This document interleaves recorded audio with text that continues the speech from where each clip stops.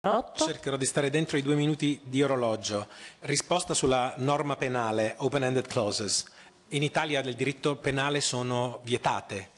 Eh, nel diritto penale, in criminal law, nel diritto penale hai l'obbligatorietà di specificare con chiarezza e in modo determinato i comportamenti che costituiscono offesa penale, perché se lasci aperta la norma penale poi puoi essere accusato per qualsiasi cosa. Quindi è un principio di civiltà giuridica che dice il reato va descritto precisamente.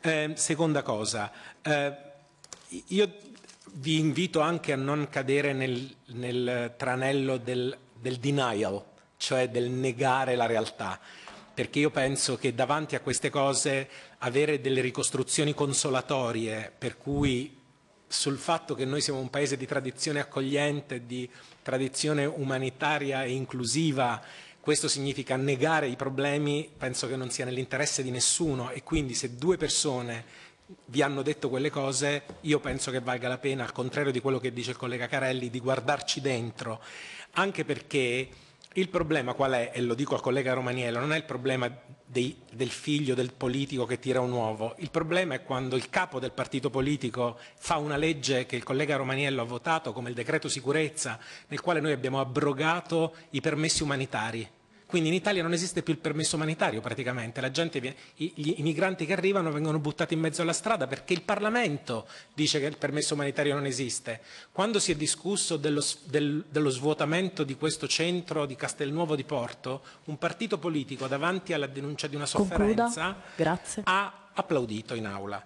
Aggiungo un'altra cosa, sempre perché sono figure politiche importanti. Un senatore del Movimento 5 Stelle ha recentemente citato i protocolli dei Savi di Sion e nessuno del Movimento 5 Stelle ha chiesto le sue dimissioni, così come nessuno ha chiesto le dimissioni del senatore Calderoli da vicepresidente del Senato. Ora si dice noi, noi eh, prendiamo atto della condanna e lo rifiutiamo, ma non basta rifiutare, devi dire sei il vicepresidente del Senato, non puoi essere più il vicepresidente del Senato se sei stato condannato per quello le curve calcistiche, dentro gli stadi di calcio ci sono grandi fenomeni di razzismo.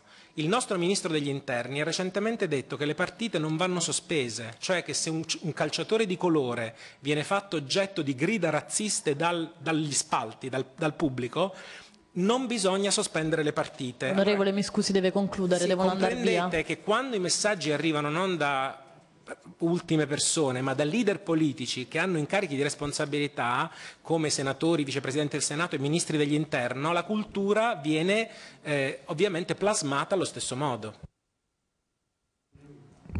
Deve intervenire l'ultimo ospite.